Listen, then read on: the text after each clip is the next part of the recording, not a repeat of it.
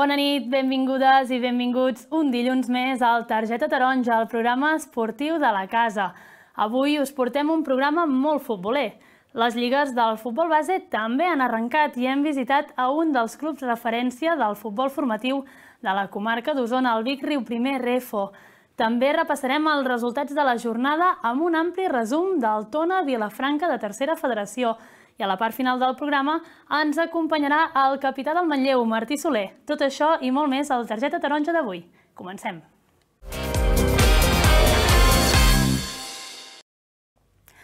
Com us dèiem, un equip del programa ha visitat les instal·lacions de la zona esportiva municipal Hipòlit Planàs, on també entrenen els equips del Vic Riu Primer Refo. Allà hem parlat amb els coordinadors i alguns jugadors per conèixer de primera mà com es presenta la nova temporada que està començant aquestes setmanes. Que confusione sarà perché ti amo el Vic Riu Primer Refo és el club de referència del futbol formatiu a Osona.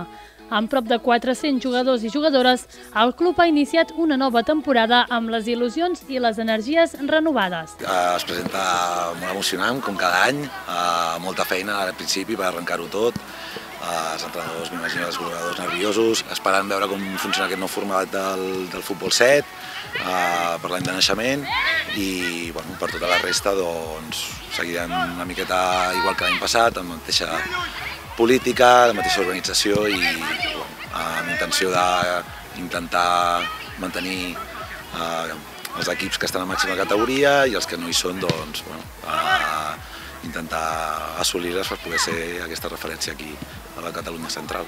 Aquesta temporada la federació ha reestructurat la normativa del futbol 7 obligant els clubs a formar equips per any de naixement.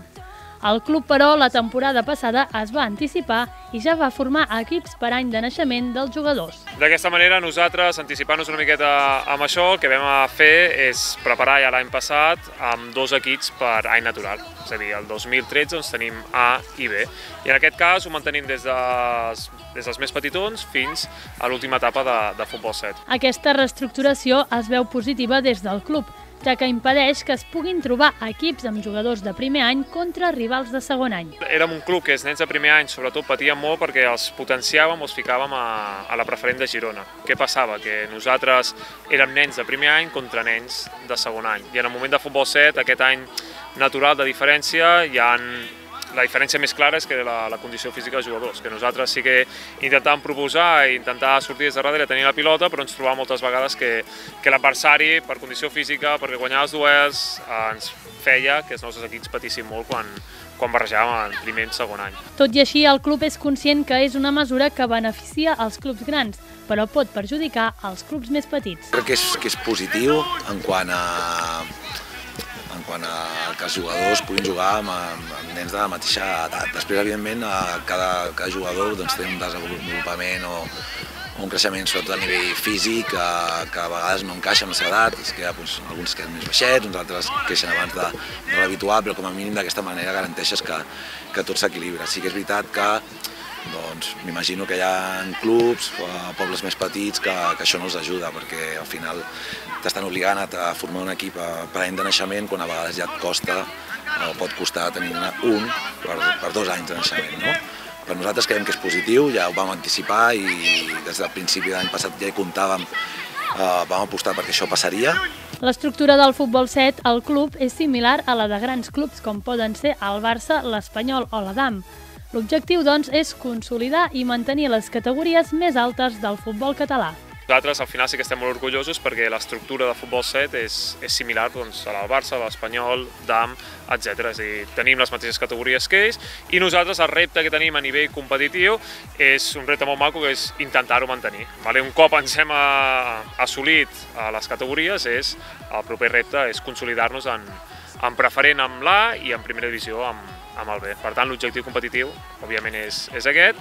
I després, nosaltres també, eh, objectiu formatiu dels nens és que aquí puguin disfrutar amb els entrenadors que, que tenim, a nivell d'evolució de jugador i que puguin arribar a, a l'etapa de futbol 11 dintre, dintre del club. El Vic Riu primer busca l'excel·lència en els seus jugadors i per aquest motiu els entrenadors i els coordinadors tenen la feina d'estar sempre a la guait dels jugadors que hi pot haver a la zona. Unes feines negatives que podem tenir o coses que costen més és el procés aquest de selecció que nosaltres fem. Al final hem d'entendre que és un club al que busquem la qualitat i que ens centrem en una tipologia de jugadors més específica. Ens porta que no tothom pot estar al Vic Riu primer i que nosaltres intentem buscar aquests jugadors de, de més qualitat de la resta dels clubs i els que tenim potenciar-los perquè es puguin, en aquest cas, a mantenir. Pel que fa al futbol 11, els equips agafen un caire molt més competitiu sense perdre de vista la formació dels jugadors. L'ambició i els objectius són clars, portar el Vic Riu primer a les categories més altes. Bueno, nosaltres sempre les ambicions que tenim com a club és mantenir les màximes categories que, de les que disposem i a les que no disposem la màxima categoria en, en les diverses etapes, doncs intentar-les assolir i un cop allà mantenir-les. I si es baixa un any, doncs tornar a pujar l'any següent. Sempre és la nostra ambició, eh, per lo que lluitem, per lo que ens trenquem el cap cada posttemporada i a la pretemporada per mirar de fer els millors equips possibles i que rendeixin de la millor manera possible. Sempre combinant la competició, òbviament, amb la formació. Sense una cosa és impossible l'altra, però intentant com a filosofia de, de club i en el futbol 11 d'aprendre competint. El pas del futbol 7 a futbol 11 és un dels més complicats per als jugadors. Tot i així, el club hi treballa des de l'etapa final de la vi per tal de minimitzar els canvis i facilitar la transició. Sí que quan comencen i passen de futbol 7 a futbol 11, una, un fet que treballem també amb, amb l'etapa de futbol 7, perquè ja al final d'any de, de la temporada anterior ja comencen a fer partits, inclús van al MIC i ja competeixen a futbol 11 i fem tornejos de posttemporada a futbol 11, doncs és una cosa que, que, bueno, que se'ls comenta i aquí sí que hi ha uns mínims. No? Si els nanos compleixen amb, amb tot, eh, sempre jugaran i, i no jugaran 5 minuts, mai. No, no ho farem això amb un nano que sobretot el que s'ha de començar a preparar és perquè quan passi a ser de segon any i hagi de competir en màximes categories, doncs que, que hagi pogut assolir eh, els pilars bàsics per, per competir en condicions de futbol 11. Els alevins de primer i de segon any ho esperen amb ganes i per Setmana Santa alguns jugaran al MIC, mentre que els infantils de primer any estan molt contents de jugar per fi a futbol 11. El que m'agrada més del futbol 7 bueno, seria com que l'espai està més reduït. Bueno, que com a futbol 11 és més gran, el primer any és molt més difícil per començar. Jugar contra un equip top, però que no hem jugat mai, com el Real Societat o algun equip d'aquests. L'espai reduït i la facilitat que tenim amb el meu equip de guanyar els partits. Bueno, a mi m'agrada molt el futbol 7, però trobo que serà una experiència molt bona, el futbol 11, o sigui que com més, més d'hora comencem millor. Què és el que més m'agrada del futbol 11? Pues que hi ha molt espai i que podem desplaçar més i córrer més. Jo crec que aquesta temporada podrem entre els cinc primers. Hola, sóc en Jordi Sala Escaler, jugo al Vic Riu primer i faig de mig. Doncs que els espais són més grans i es pot córrer, es corre més i això. Aquest any el club ha volgut fer un pas més i ha introduït una nova figura al club. Es tracta d'un readaptador i preparador físic. Bueno, aquest any, com bé dius, hem introduït aquesta figura perquè ens trobàvem doncs, que al final el futbol 11, sobretot etapa cadet i juvenil, hi comencen a haver forces lesions perquè comencen doncs, a desenvolupar més la musculatura i ens trobàvem que hi havia jugadors que a vegades estaven una setmana, dues de baixa i s'havien de quedar a casa o fer un treball a part eh, al fisio i potser doncs, se sentien una mica apartats de l'equip. Llavors doncs, hem introduït aquesta figura d'en Roberto que el que fa és eh, un seguiment, un acompanyament als jugadors, treballen al camp i sempre intentem fer la part principal doncs, que estiguin amb el grup, així comparteixen vestidor i no es senten apartats i llavors doncs, treballen eh, paral·lelament amb el grup fent els seus exercicis amb, amb grups de, de jugadors diguéssim lesionats que fan aquesta readaptació i així doncs, no espera el contacte. I l'última part de l'entrenament es tornen a reunir amb el grup i comparteixen vestidor i tal i eh, creiem que és una manera, a part de fer aquest seguiment i d'aconseguir que els jugadors es recuperin abans, doncs de, de seguir formant part del grup i no sentir-se desplaçats en cap moment, perquè al final tenir una lesió ja és prou dur, si a sobre et sents apartat doncs encara és més complicat. Pel que fa al futbol femení, el club ja té gairebé 130 jugadores i 10 equips.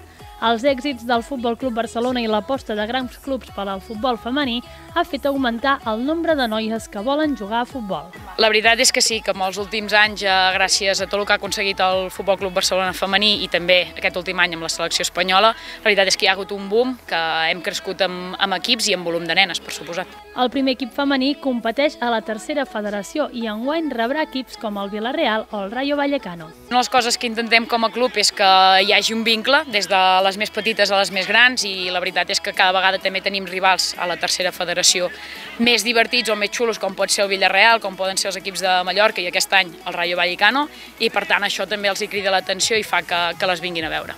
La lluita de les jugadores de la selecció espanyola de futbol també ha arribat al Vic Riu primer i és que queda molta feina per fer, però les jugadores professionals són un exemple i un referent per a les més petites. Crec que les més petites ho tenen una mica com més ha passat alguna cosa i no en tenen del tot el coneixement del per què ha passat tot això i el que ja són les juvenils i per suposat doncs, les sèniors, la veritat és que estem totes una mica a l'expectativa i amb el, la mosca sota el nas de, de per què passen aquestes coses i més les que hem viscut, com per exemple jo, la merda del futbol femení, que veníem de jugar amb hores horribles, camps de terres, no ser valorades, a veure que havíem fet molts passos però que realment no era així, no? que encara queda molt per fer i molt per lluitar i espero que realment amb tota la força que estan fent aconseguim, aconseguim coses.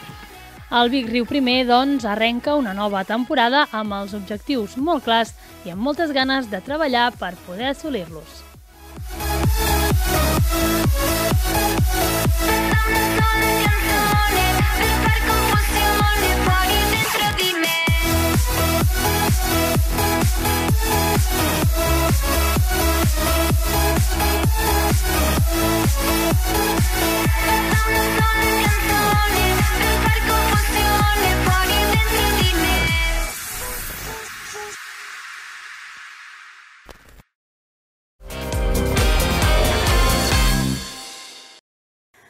Nou punts de nou possibles ja té el Tona després d'una immillorable arrencada de Lliga. Aquest diumenge s'enfrontaven al fins ara també invicta Vilafranca, però els de Ricard Ferrés aconseguien quedar-se als 3 punts amb un gran nivell de joc.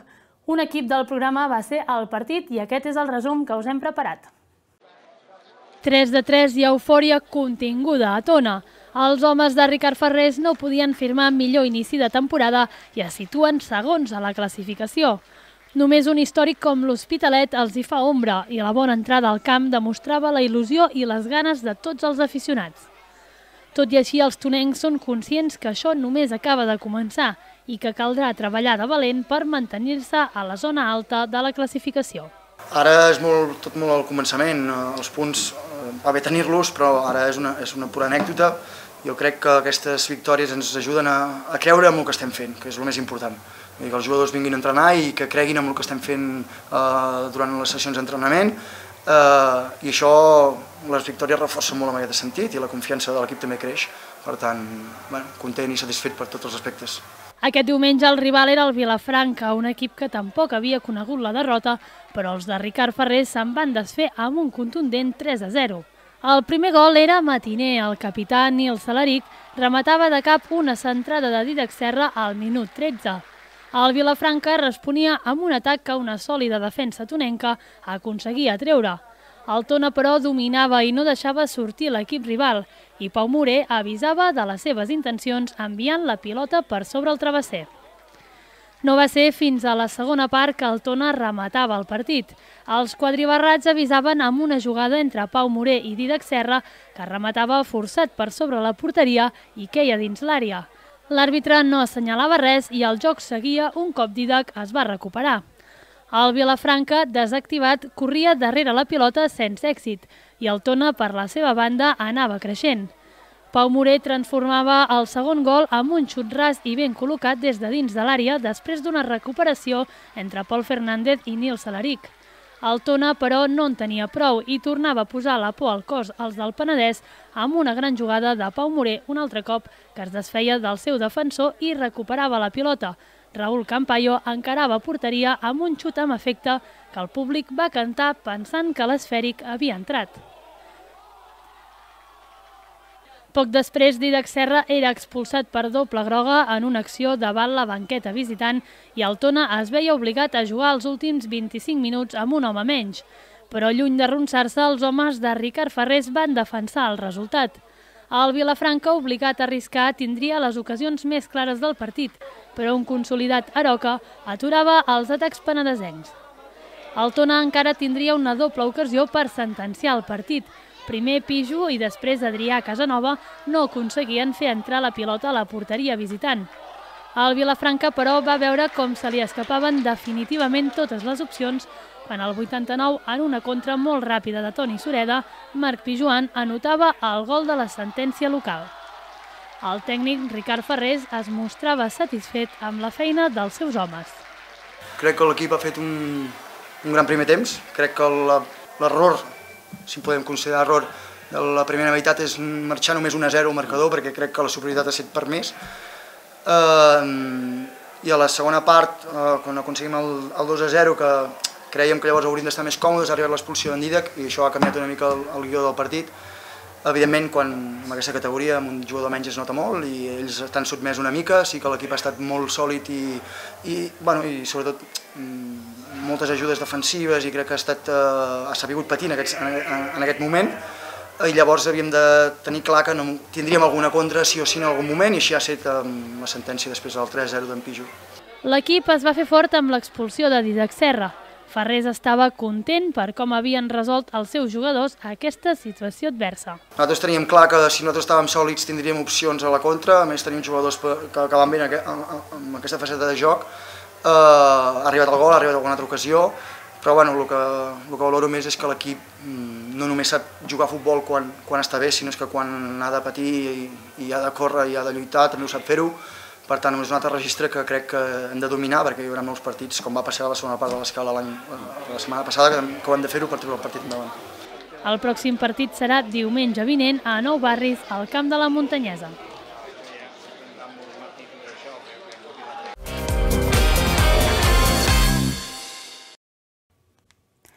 I repassem breument els altres resultats. La Unió Esportiva Vic ha guanyat el segon partit de Lliga, en aquest cas amb un hat-trick de Flavio en la seva visita a l'històric camp de l'Horta. Resultat que situa els homes de Ramon Carrascal en segona posició empatats de punts amb el Lloret i amb l'Europa B, mentre que a la primera catalana el Manlleu s'emportava els 3 punts del camp del Bos de Tosca.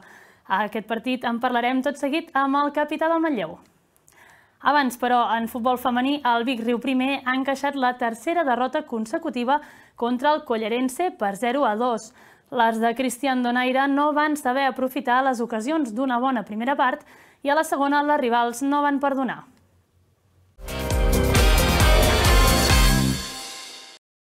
Doncs comencem aquesta segona part del programa i com us dèiem a l'inici estic acompanyada d'en Martí Soler, el capità del Manlleu. Benvingut, Martí. Hola. Um, ho veiem aquesta, aquests dies a les xarxes socials, 10 anys al Manlleu. Correcte. I de capità, no sé quants anys fa que ets capità, de però... De capità des de que estem a primera catalana, no sé quants en fa. Mm. En fa sis, per ahí. Per ahí, no? Sí. Déu-n'hi-do. Um, què significa portar el braçalet del Manlleu? Ja ho he dit molts cops, per mi és un honor, és un honor molt, molt gran, perquè al final el Manlleu no és un club qualsevol, és un club històric ja no només a la comarca, sinó a Catalunya, i, i arrossega molta gent, molta afició, és, és un club molt conegut i al final ser, ser com la cara visible, el, el capità, pues, és un orgull i, i una responsabilitat molt grossa que a mi m'encanta. Per tant, ningú millor com tu per, per parlar avui una mica d'aquest Manlleu, d'aquesta nova temporada que heu començat des de fa un parell de setmanes. Um, la setmana, la, la setmana passada, no, la temporada passada us vau quedar a les portes d'aquesta Lliga Èlit, Um, les lesions us van castigar molt també la temporada passada, però, però bé, um, aquest any hi heu, de, hi heu de ser, heu d'arribar a aquesta Lliga Èlit. Sentiu aquesta pressió, teniu aquesta pressió, us la posen o, o com, com esteu? No, al final la pressió és la que ens fiquem nosaltres mateixos perquè al final hem de ser ambiciosos i com t'he dit abans, eh, som el Manlleu i, i, i no pot ser que es repeteixi el que es va, repassar, el que es va passar l'any passat. Sí que és veritat que l'any passat va ser tot un desastre en tots els sentits o sigui, entrenar entrenàvem com animals i, i molt bé i un nivell molt alt, i a l'hora de competir ens sortia tot del revés, et feien gols al 95, del mig del camp, no sé quants cops vam sortir amb el millor gol de la jornada en contra, uh mhm. -huh. vull dir, anava tot en contra. Aquest any, sabent el que ens va passar la temporada passada, seguim entrenant a un nivell molt alt, la gent en té moltes ganes, la gent que hem fitxat està molt compromesa i, i res, en, L'objectiu nostre és clar i cada any el repeteixo, és competir al màxim cada partit, que no se'ns pugui dir un partit aquest no heu competit, uh -huh. i llavors ja amb el temps anirem veient on estem. Al final, quedar primer o segon és molt complicat. Hi ha molts equips, eh, hi ha equips molt bons, hi ha equips que tenen molt poder, i, i nosaltres som el Matlleu i, i hem de jugar unes altres armes. Llavors, saber-la jugar i ficar-nos allà dalt. Uh -huh. Per jugar-les també gent com tu, com en Joel, com l'Isaac, um, gent, jugadors que, que, que heu mantingut aquest nucli, aquesta pinya, i heu afegit doncs, això, no? peces que, que poden donar un plus o inclús uh, juvenils, uh, seguint la, la filosofia del Manlleu, no? juvenils de, del juvenil A que pugen al primer equip. I tot això liderat un altre cop amb confiança màxima amb, amb Manel. Sí, correcte. Nosaltres, el, el Manlleu en si té, té un, un punt fort que jo el valoro molt, que és la gent vol jugar al Manlleu. I, i tot i que molts jugadors els hi vinguin altres ofertes o altres equips que, que poden ser més ambiciosos o qualsevol història, els hi costa molt marxar al Manlleu, perquè el Manlleu, ja ho he dit molts cops, és un club diferent als altres. Quan estàs a dintre ho notes i, i es respira futbol i és tot molt diferent.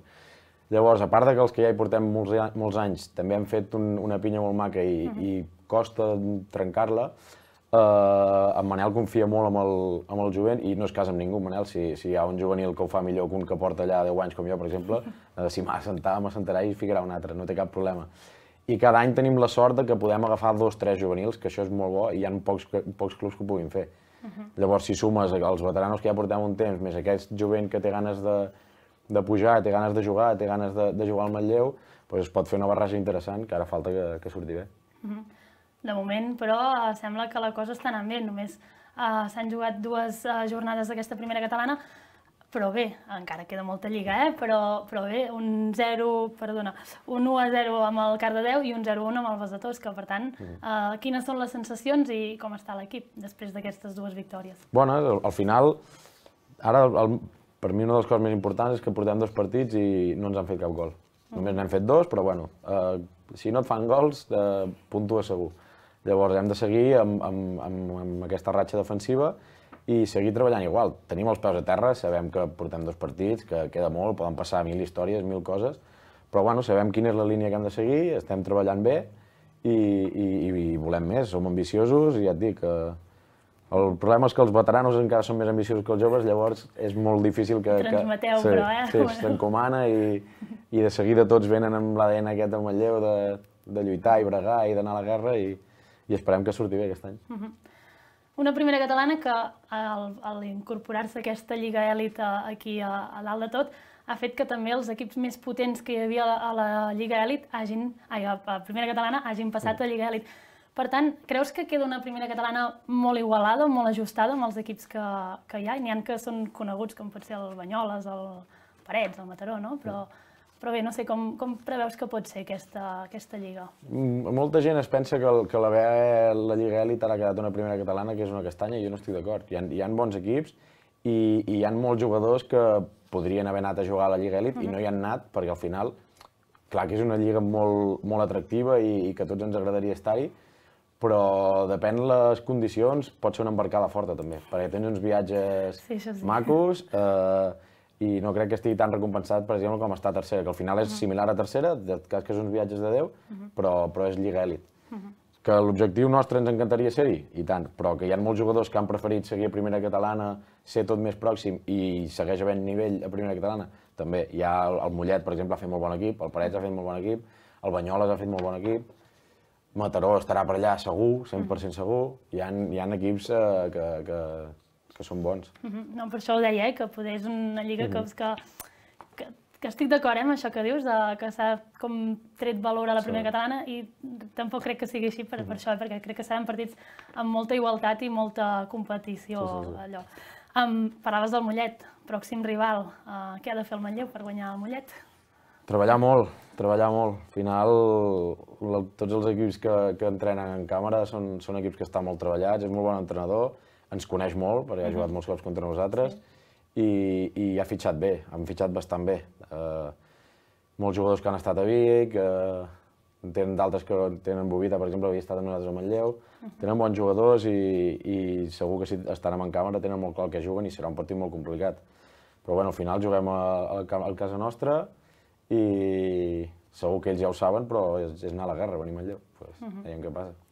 I què els diu el capital a les noves incorporacions i als, als juvenils que pugen el primer dia d'entreno, el, primer, el primer partit, eh, quan els agafes, què, què, el, què els dius? El, no, el meu missatge és molt clar, sempre. El, el que intento és que siguin conscients del, del club on estan.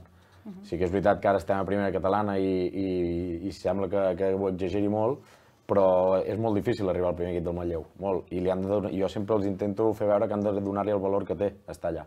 I això implica cada entreno deixar-t'hi la vida, cada partit deixar-t'hi la vida, i sí que els joves, els insisteixo molt que és, és molt normal que ells ara no ho vegin, però amb els anys aniran veient què, què significa estar al Manlleu. La mm. gent que arrossega, els nanos que et veuen pel camp i es tornen bojos.